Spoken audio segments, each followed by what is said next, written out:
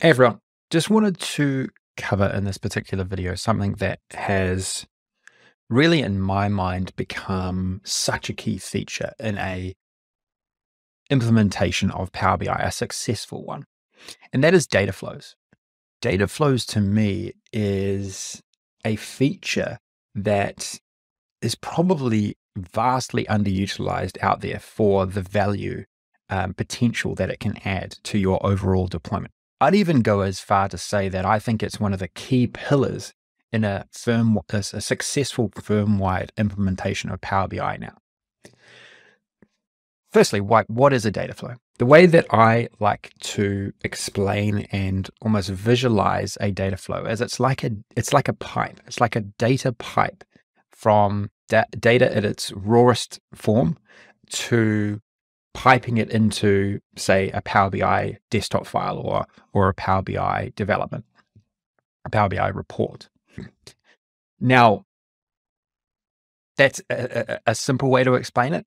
Another way to explain it is it's really Power Query in the cloud.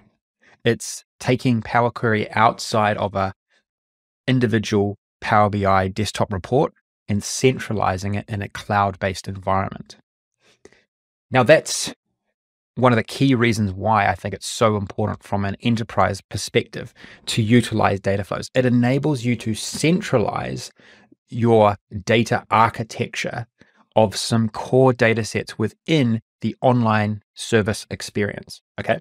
So, as a contrast, whenever you are using Power BI Desktop and you use the query editor in here, what you do within this environment is very unique to that specific Power BI desktop report. But what data flows can do is you can strip that out of a individual report and centralize it so that others can use the same transformations, the same data architecting or, or architecture that you that that you uh, originally may have done individually. So where does this make sense? In my view, this makes sense in core data sets that are used over and over again by a lot of users. Okay. So, for example, and just just as this is just literally one example, and this is actually a change in how I personally have created date tables for a very long time inside of Power BI in the you know, a date table is something that every user needs to use whenever they're doing anything to do with time or trends, etc. Right now, in the past, I would have gone in here and used our date table code from the Analyst Hub, um, and uh, you know I would have uh, copied and pasted it into my individual file here, and then I would have put it into the advanced editor and created my um, my date table with some parameters. Right. To me now, though, it makes complete sense to actually grab uh, to actually um, remove that step from here and put it into a centralized data flow so that every single person in my organization uh, can use exactly the same date table. Okay. And this is just one example. Think about how this is an exactly the same example can be used over and over again um, across like all your data sets. Maybe it's customers, maybe it's products, maybe it's um, locations, regions, uh, so on and so forth, right? Anything that is sort of centralized, and you know, a lot of those would be lookup tables, right? Lookup tables, like filtering tables, put them into or try to get them centralized in a data flow so that everyone is working off the same thing and not everyone is doing their own transformations and um, etc. You can still transform uh, things and um, and uh, optimize things within power, the Power BI experience after you've gone and grabbed the raw data set from um, from the data flow. But to me, it's much better to to get closer to the same starting point. Okay. Now, hopefully that makes sense. I'll show you the um, the actual environment. Now, I think a lot of the hesitancy to actually using data flows is because it's so unfamiliar and and users uh, um, and everyone's you know thinks this is this brand new complicated um, aspect to Power BI. And, and the reality here, it's not. It's actually so easy to move from something within this experience, like within here, into a data flow because literally all you have to do is come in here and copy code that you might already have. Okay. So if you've got, say, um, some customer tables or, or lookup tables that you've created, right? All you need to do in a lot of cases is literally come and copy the advanced editor code and paste it in to the new code editor in the online experience. It's really that simple. It is seriously simple. Okay, so let's just go in and have a look at this particular one. And within, and and the, also the the reality with with data flows as well. Within a singular data flow, you can have lots of different queries, right? So so think of it as this like one huge pipe, but lots of things that can in, intermingle within that pipe as it's flowing through um, into your into your reports or, or into a variety of reports around your organization. So you can do, you know, you within this experience, right? You can you can use a lot of very similar things to what you um, have in in Power BI Desktop in Power Query there. Um, but you know, one of the one of the easiest ways to get started here is just literally copy and paste um, data out of the uh, uh, advanced editor from your files and then centralize it within um, within a data flow and then reconnect to the data flow rather than um, um, yeah, reconnect through in here to your data flow rather than um, going and get getting the raw raw data. You know, one of the other like really big benefits here, and I've seen this over and over again with a lot of um, um, customers we work with, is that so many custom, uh, so many users in large organizations are hitting exactly the same data source over and over again in different areas of the business, right?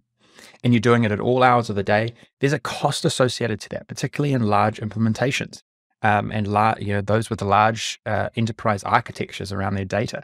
And so centralizing this and only doing that data retrieval from a raw data source once and being able to do it, say, you know, very late, early in the morning, or or when no one, it doesn't really matter um, to anyone in terms of overloading the, the the database or the data source, is it's just a far more optimized way to do things, right? You do it once and you do it at a time which is convenient, rather than just like having rescheduling uh, um, updates on your data all the time. What I did do in this particular instance, right, is within my my one data flow, my one data pipe, I actually created different types of date tables. Like I've created this really comprehensive one. I then slimmed it down um, to an easier one that I like. It's based off the same thing though. And then I've gone down to an even um, smaller one, which is just like a really simple um, data um, date table. Okay. Save and close.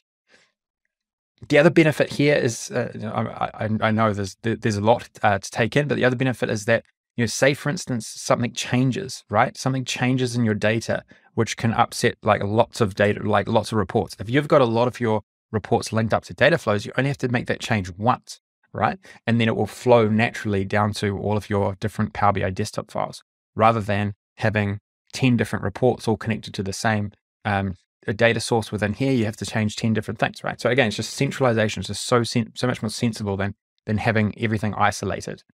Okay. And then when you actually connect to it, all you have to do is go um, into new source and then uh, I think Power Platform and then data flows, right? And then you can also create uh, connected data flows in lots of different workspaces as well, which is so handy, right? So like you can have um, a, a data flow which is very specific to a uh, specific workspace you've got, but you can connect to it from a different workspace if, if you allow that. You can actually provision that. So again, uh, brings a lot of scale into how you're sharing the the um, yeah the data organization piece internally. Now, one of the um, so you know I've got a few here. Now, if you look at my um, ED, eDNA common data sets, this is just how how we have set up our own internal reporting. You see that there's a few different ones down here. Now, what I also as a, as a recommendation, as sort of my last recommendation here, as I round off um, round off this video, is I also think have a think about how you architect your workspaces. Okay, this is also a very important part um, to to to building a strong foundation inside of here. It makes sense to, I think, have a workspace dedicated to common data sets and then um, utilizing data flows just within that workspace, like literally having a workspace of data flows. And then, you know, ultimately data marts as well. I don't, I'm not covering that in this video, but um, data marts is, is, is another um, option for you. I think that that you can layer on top of data flows. Um, but in terms of just using data flows, that, that you know you can do so much just from building all of these different sort of pipes of data through one workspace, and then um, showcasing and then centrally managing these. Maybe it's your data team, your data engineering team, or or one of your head analysts uh, who manages these core data sets, and then everyone else can just feed off the feed off these pipes. You know, they can pipe that data into their own Power BI files, and then do their own um, do their own you know, simplified model, and then build their reports quickly off the back of that. Right. this to me is just one layer of of um, that if you do this well, like if you build the foundation well here, it can just speed up uh, and improve the overall consistency um, and productivity of your of your Power BI deployment.